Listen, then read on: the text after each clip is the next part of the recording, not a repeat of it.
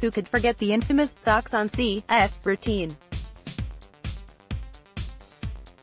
Part of me was hoping they would bring it out for their final tour stop in Perth, but then again, they are men in their mid-50s now, I guess nobody needs to see that anymore warmed up by George Clinton, the eclectic godfather of funk who surely can fill venues in his own right, Flea, lead singer Anthony Kiedis, guitarist Josh Klinghoffer and drummer Chad Smith took us on a meandering tour through their most celebrated albums, Blood Sugar Sex Magik, Stadium Arcadium, Californication and the groundbreaking Mother's Milk.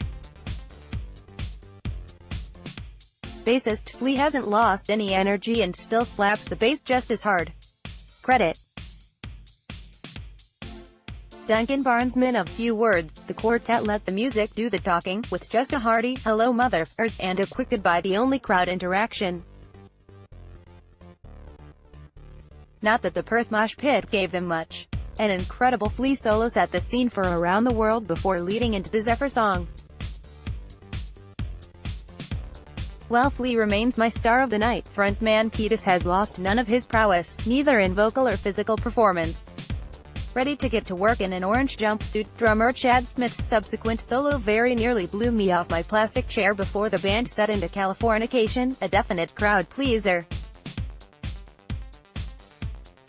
Dark Necessities, Hey and Nobody Weird Like Me followed, which were more for the die-hard fans, but gave the band an opportunity to pay tribute to their funky roots. But fans were swiftly brought back with Snow, which is my four-year-old's absolute favorite song in the universe, and arms started waving again. As it was time for Suck My Kiss, Kiedis and Flea's shirts were well and truly off before they launched into their breakthrough hit Under the Bridge. Yes, cheesy to some, but that song, played live by this formidable outfit, still gave me goosebumps all the back to when growing up in an industrial German town felt just like downtown LA. Energy up, the quartet jumped straight into by the way before the stage darkened and they had the crowd begging for more.